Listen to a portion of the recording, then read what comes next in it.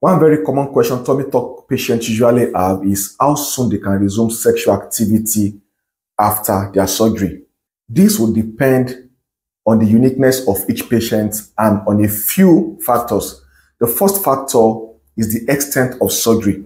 If your tummy tuck was very extensive and it involved significant anterior muscle wall repair, what you call the rectus diastasis, and also maybe involving a few other procedures like a BBL, for example, your recovery may take a little longer. It means you have to wait a little longer to heal well before you resume intimacy with your partner.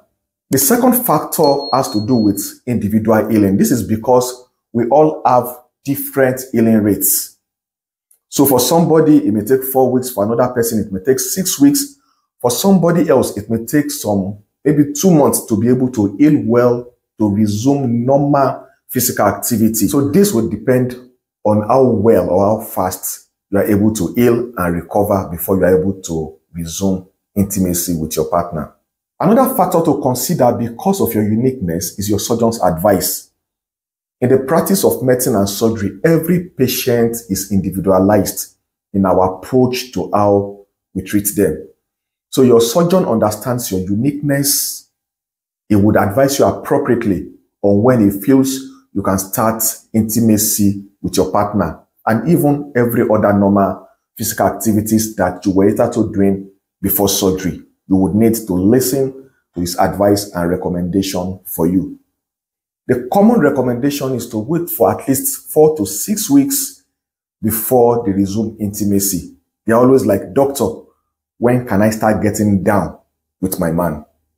Four to six weeks is the general recommendation. Waiting to heal properly before resuming intimacy with your man is very important because resuming this activity too soon may pose some risk to you. And this risk could include increased pain and discomfort that could prolong your healing period or your recovery. Resuming sexual activity too early after a tummy tuck surgery could also increase your risk of other complications like wound separation, wound infection, and bleeding. Again, you could also have compromised results. Coming in for a tummy tuck, what you want to achieve is an improved physique. So these results may be compromised if you start physical activities too early. You want very good outcome. You want your recovery to be as smooth as possible. So you will need time to really, really heal. In addition to following post-operative instructions, you would need to listen to your body. Our bodies speak to us. Our bodies define the language in which they communicate with us. If at all, at any point in time, you don't feel right, you feel something is not right, you will need to wait a little longer before you start normal activities, before you start to get down with your man. Your body will tell you, I have some degree of discomfort, I have some pain, you've not healed well, you still have some soreness in some part of your body. You will need to listen to your body before you engage in sexual activity after a tummy tuck surgery.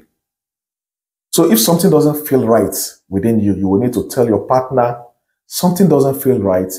Please permit me, let us wait a little longer before we resume intimacy. To aid your recovery, to make sure that you are ready to resume normal activities and intimacy with your man, there are a few other things that you would need to follow apart from listening and obeying post-operative care instructions.